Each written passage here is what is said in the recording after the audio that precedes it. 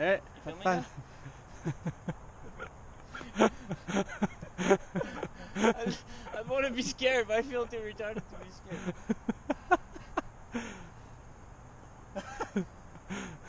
all right.